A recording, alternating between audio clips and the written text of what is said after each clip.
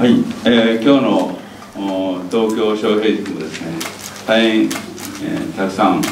まりいただき素晴らしい講師の方々にこの後講演いただきたいと思ってます。まああの先ほど今朝の新聞を見てました産経新聞ですね、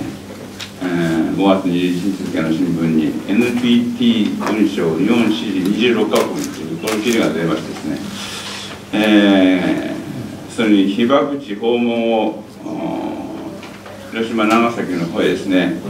うん、世界の指導者に促す文書を入れたんですが中国が要請して最終文書の原案から削除された。それに対してですねその文言復活を訴える日本を支持する加盟国が19日現在で26カ国になりましたという記事です。26カ国の名前ここに全部出てますね。私は常々、エッセイに書いたりこの席でも話したことがあるかもしれませんがね、まあ、戦後のいろんな問題はですね全てアメリカが原爆を広島長崎に投下したことから始まったんだと。広島長崎に現場した原爆を投下したアメリカがですね原爆投下の呪縛に取られてるんじゃないかだからあ原爆を投下した後もアメリカがいい国であり続けるには日本を悪い国にしなければいい国日本に原爆を落としたたんじゃ自分が悪い国になっちゃうんで日本が悪い国だったから原爆を落として民主主義のいい国にしたという絵面を作るためにですねいろんな言論統制プレス報道をはじめですね教科書をですね教書を作ったり教科書を作り直したりです教育とメディアを縛ってですね戦前の良かったことを全部塗りつぶしてですね非常に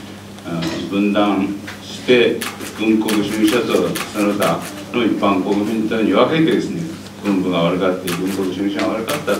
しかしそれに引きずられた国民は、ね、被害者だったという構造図をずっと教え今日に至っている。だからですね原爆投下はあその時アメリカにとって必要だったんだと。というのはすでに、えー、先の戦争が終わった後ですね、えー第三次世界大戦と呼んでもおかしくないですね。世界戦争の戦争がですねもうすでに始まっていたと言ってもいい状況であります。アメリカとすればですね日本やドイツに勝ったけれどもですね最後にソ連にこう接近されてですね世界石化されてしまったら元も子もないわけですから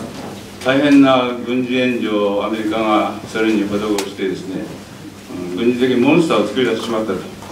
えー、このままいけばヨーロッパはおろかですね陸続きの国の全てが共産化されるということでですね理解機密費で開発をしてもう完成寸前まで来ている原爆をですね戦争が終わったら落とすところがないとやっぱ落とすには、えー、戦争継戦継続させてですね日本に落とすとハイデルパーク協定とかと結んでですねできた原爆はドイツに落としません日本向けなんですということで亡命同時科学者などを動員してですね原爆を完成させたわけです。それでいてですね、えーえー、広島長崎に落としてそして、えー、終戦になったわけですがですねこの日本を戦争を引っ張るには、国際孤児といいますか天皇制をどうするかと、戦犯処刑するなんといえば一部玉砕までいつまでも戦争を続けるだろう。そこを認めれば終戦になるだろうということはもう十分いろんな経路ですかねバチカンとかソ連とか国軍とかです、ね、スイスとかいろんなところを通じてですね日本の終戦の条件は天皇制を維持する国体孤児にあるということはですね分かっていながらもそこを曖昧にして落としたのはバーンズというアメリカの国務長官ですこれはその先を見込んでですねまあある意味日本にとっては大変不幸なことでありますがですね。もし本当に、えー、原爆が使われなかったり開発ができていなかったらですね多分ソ連はですねその後ずっと世界中から戦争へ突き進んでいたであろう。とこういうことだと思います。まあ、そういう意味ではですねこの NPT 条約についてもですね、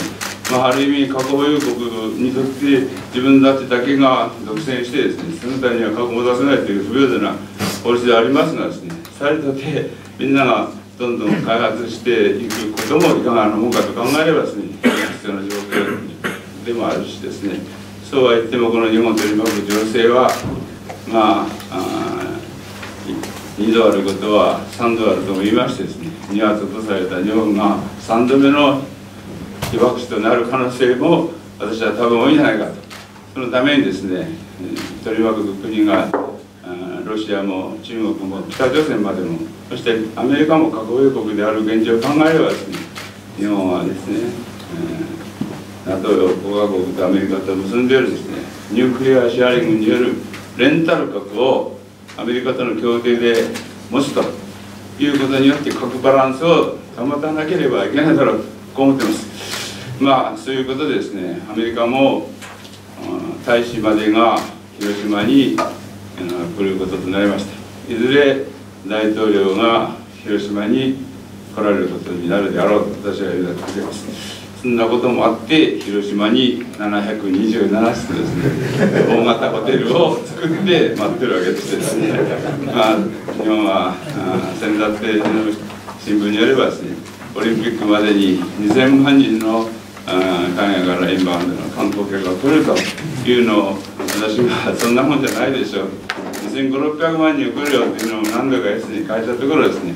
12日前でした。ですか新聞で目標を500万人上げて2500万人するという記事が出ました。まあ私の言ったことも影響してるのかなと思いますが足元の状況を見てもですね大変な勢いで海外から観光客が出てます。その多くの原因はやっぱり円安政策にあると。まあ安倍さんが総理、えー、安倍さんが自民党総裁になってからですね50% 78円でしたですが120円って言ったらね大変な円安ですし株価もですね8000円前後は2万円オーバーというようなことです。これ 2. 何倍ですからですね。やっぱりこの時のリーダーの